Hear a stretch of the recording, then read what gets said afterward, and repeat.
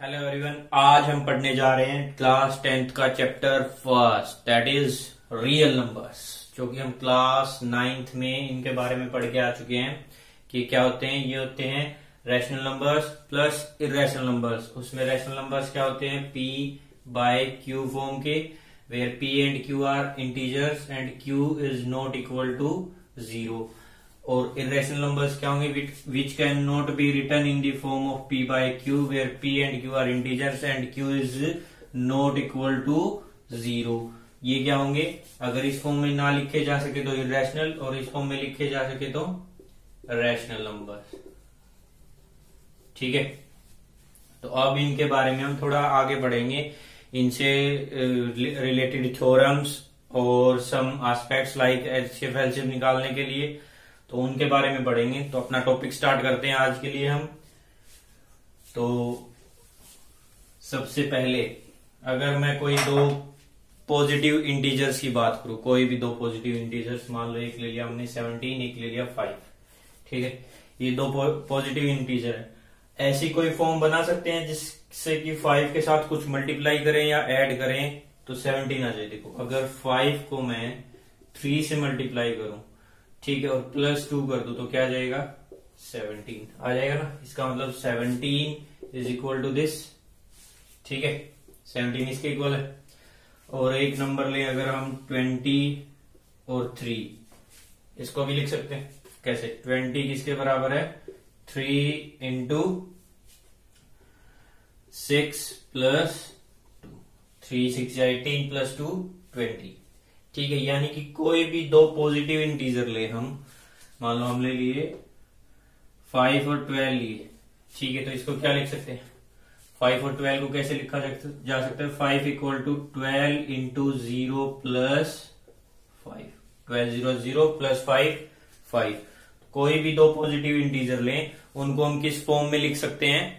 एक दूसरे की फॉर्म में मतलब कि फॉर्म बना सकते हैं ऐसे वाली, जिसमें क्या होगा? ये मान लो कोई भी दो पॉजिटिव इंटीजर इसको ए बोल दें, इसको बी बोल दें तो हमेशा इस ए और बी कोई भी दो पॉजिटिव इंटीजर होंगे, उनके लिए कोई अलग से दो नंबर यूनिक हमेशा लाई करेंगे या फिर एग्जिस्ट करेंगे, जो इस फॉर्म ट्वेंटी थ्री को ट्वेंटी की फॉर्म में बना सकते हैं।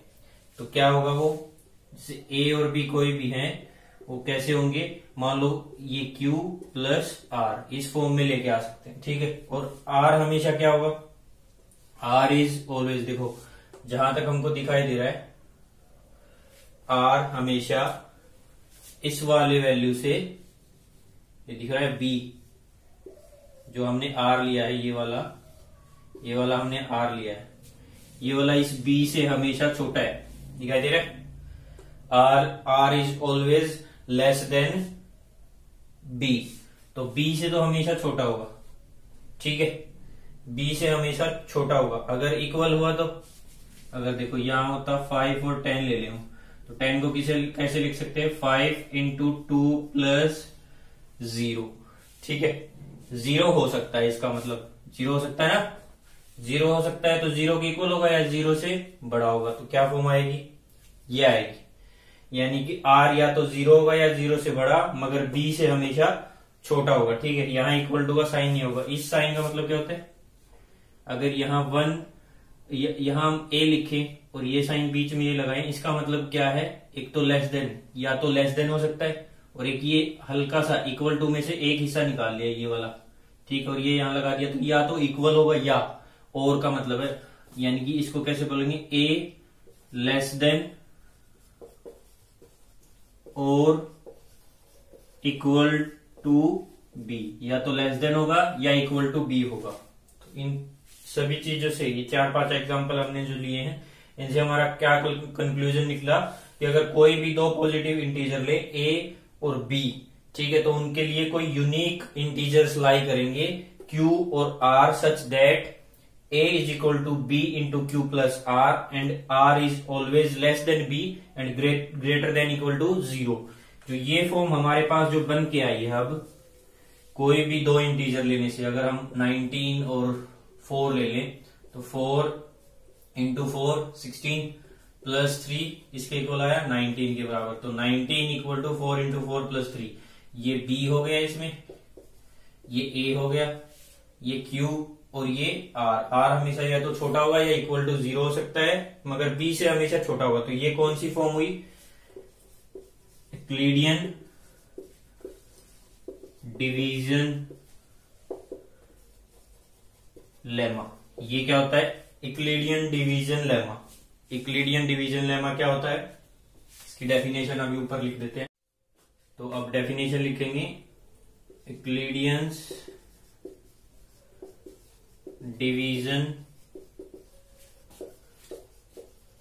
लेमा इसमें आया डिवीज़न का मतलब डिवाइड करना इक्लेडियन कोई साइंटिस्ट है, उसके नाम पे और लेमा का मतलब होता है ऑलरेडी प्रूव्ड जो पहले ही प्रूफ कर चुके हैं जिस स्टेटमेंट को, उसका यूज़ करके हमने ये कोई स्टेटमेंट प्रूफ की है। तो लेमा का मतलब है ऑलरेडी प्रूफ है, इसका कोई प्रूफ नहीं है, ये ऑलरेडी प्रूफ किया हुआ है, ठीक है? Lemma is a statement which is already proof and use to prove some other theorems कुछ और थ्योरम को प्रूफ करने के लिए इसका यूज़ होता है। तो ये क्या है? Given positive integers A and B there exist some integer And uh, sorry Q and R such that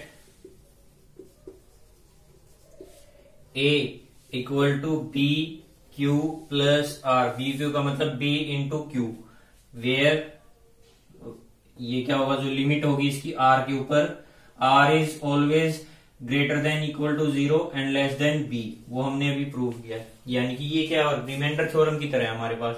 ये क्या डिवाइजर सॉरी ये क्या है? डिवाइजर ये डिविडेंट डिवाइजर क्वेश्चन और रिमाइंडर ठीक है? तो रिमाइंडर तो हमेशा जिससे डिवाइड करते हैं उससे छोटा होता है या उसके या ज़ीरो होता है या इससे छोटा होता है। जिससे हम डिवाइड करते हैं उससे। तो ये एक, एक तरीके से डिवीज़न एल्गोरिथम की तरह। ठीक है? मगर only for positive integers A and B तो इसमें हमेशा पॉजिटिव इंटीजर लेंगे ए और बी और वहाँ कोई एग्जिस्ट करेंगे exist some integers Q and R which are unique these are unique ठीक है? There exist some integers Q and R unique such that ये यूनिक होंगे Q R A is equal to B Q plus R की तरह होंगे। ठीक है? और इसका यूज़ कहाँ होता है? हमारा यूज़ होता है H C F highest common factor निकालने में। तो इसको याद रखना, ये किसमें यूज़ होती है? हाइएस्ट कॉमन फैक्टर निकालने में। अब जैसे सॉरी अब जैसे देख लो, अगर हमारे पास कोई दो नंबर दे रखे हैं, मान लो वन ट्वेंटी फोर और दे रखा है सेवेंटी टू हमको इन दोनों का एच सी एफ़ निकालना है तो इसका यूज़ कैसे होगा? फ़र्स्ट ग्रेटर वाले नंबर को हम क्या कंसीडर कर लेंगे? ए और स्मॉलर वाले को क्या कंसिडर कर लेंगे? बी ठीक है? तो फ़र्स्ट स्टेप क्या होगा? हमको निकालना है A equal to B plus Q sorry B into Q plus R ये करना है। ठीक है? ये करना है तो यहाँ हो गया 124 यहाँ हो गया 72 अब कोई ऐसा नंबर लें जो 124 के या तो करीब हो, यानी कि इससे को ऐसे मल्टीप्लाई करें या तो इसके इक्वल आ जाए या इससे कम। तो 72 को अगर 2 से मल्टीप्लाई करते हैं तो 144 आता है। तो 1 से मल्टीप्लाई करेंगे, प्लस में इससे मल्टीप्लाई करके जो माइनस करने के बाद जो रिमाइंडर बचेगा, वो क्या आएगा? वो यहाँ पे लिख देंगे। तो seven, twenty eight and twenty four, fifty two. ठीक है? तो क्या आ गया? Fifty two. अब, यहाँ पे हमको एचसीएफ इसका मतलब देखो, यहाँ पे अगर हम देखें तो क्या एचसीएफ आ गया? अभी नहीं आया। तो एच कैसे निकालेंगे? अगर जब अब ये स्टेप यहाँ तक कंप्लीट हो गया। इसके बाद एक और स्टेप क्या होगा? कब तक लेंगे स्टेप जब तक यहाँ पर आर जो है ज़ीरो ना आ जाए। तो अगर आर ज़ीरो आ जाए तो यहीं पर स्टेप रुक जाएगा और जो बी होगा, वो हमारे पास एच सी आ जाएगा हाइएस्ट कॉमन फैक्टर अगर आर ज़ीरो नहीं आ रहा है तो हम इसी स्टेप को दोबारा दोहराएँगे, जिस टाइम पे ये जो बी है, ये यहाँ पे ए बन जाएगा, और जो आर है, वो यहाँ पे बी बन जाएगा। फिर से इस स्टेप को रिपीट करेंगे। ठीक है? तो अब यहाँ प्लस में क्या आएगा? क्योंकि सेवेंटी टू टू से मल्टीप्लाई करेंगे वन हंड्रेड फोर इससे ज़्यादा जा रहा है। तो इससे मल्टीप्लाई किया, और माइनस किया, कितना आया? ट्वेंटी अब बी आर ज़ीरो नहीं आया। तो क्या करेंगे? फिर से स्टेप को रिवाइज करेंगे। तो यहाँ फिफ्टी टू लेंगे। ए को is equal to twenty into में इसके करीब लेके आना, टू से करें तो फोर्टी थ्री से करें तो सिक्सटी तो टू से करीब जाएगा। टू से मल्टीप्लाई किया, बच कितना गया? वो रिमाइंडर हो गया फोर्टी और ये ट्वेल्व तो यहाँ बच गया ट्वेल्व फिफ्टी टू ठीक है, अब भी ज़ीरो नहीं आया तो अब क्या करेंगे? फिर से स्टेप को, ये क्या बन गया? ए ये बन गया बी तो twenty equal to twelve into one plus eight कितना हो गया? ट्वेंटी। अब बी आर नहीं आया, फिर से रिपीट करेंगे। Twelve equal to eight into one plus four ठीक है? अब eight equal to four into two plus zero यानी कि यहाँ पे हमारा रिमाइंडर ज़ीरो आर ज़ीरो आ गया। तो जो बी है अब, ये क्या आ गया इन दोनों का? एचसीएफ तो एचसीएफ क्या आ गया? ठीक है? समझ आया कैसे करेंगे?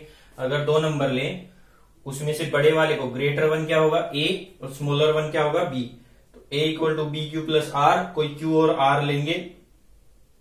क्यू ऐसा चूज़ करेंगे, जिसमें मल्टीप्लाई करने के बाद जो वैल्यू है वो ए से या तो इक्वल टू आए या उससे कम। उसके बाद उसको माइनस करेंगे तो आर आ जाएगा, उसको सोल्व करेंगे। तो आज हम यहीं तक करते हैं। इक्लिडियन डिवीज़न लेमा जो उसकी डेफिनेशन है वो स्टेटमेंट और फिर ये कहा एचसीएम में कैसे निकालते हैं, ये। नेक्स्ट वीडियो में हम आगे स्टार्ट करेंगे रियल नंबर्स के साथ और ऐसे ही एनसीआरटी e के एग्जांपल्स और एक्सरसाइज साथ साथ करते चलेंगे। ध्यान से पढ़ना। So thank you for today and subscribe and share my channel